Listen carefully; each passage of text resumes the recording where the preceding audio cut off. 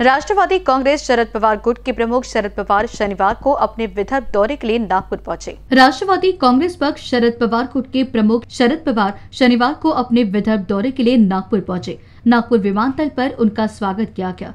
इस समय पूर्व मंत्री अनिल देशमुख और शहर अध्यक्ष दुनेश्वर पेठे प्रमुखता ऐसी उपस्थित हुए थे। विमानतल से वे रेडिसन ब्लू होटल गए और वहाँ उन्होंने नागपुर शहर के कार्यकर्ता एवं पदाधिकारियों से चर्चा की। वे वनामती एक कार्यक्रम में शामिल होने नागपुर आए थे।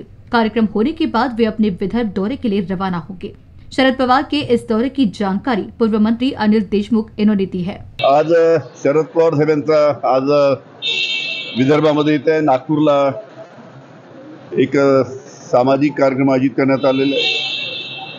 त्यामध्ये ज्येष्ठ समाजसेवक आमच्या रुपाताई कुलकर्णी आणि बाकी अन्य व्यक्तींचा त्यामध्ये सत्कार होणार आहे. नंतर वर्ध्याला साहेब जाणार आहे. वर्ध्याला तिथे माजी आमदार सुरेश भाऊ देशमुख यांच्या त्या ठिकाणी पंच्याहत्तरवीचा कार्यक्रम आहे. तो कार्यक्रम आल्यानंतर नागपूरला वापस जाणार कॅमेरा पर्सन राजकुमार मोहट के साथ अभिषेक पांसे की रिपोर्ट.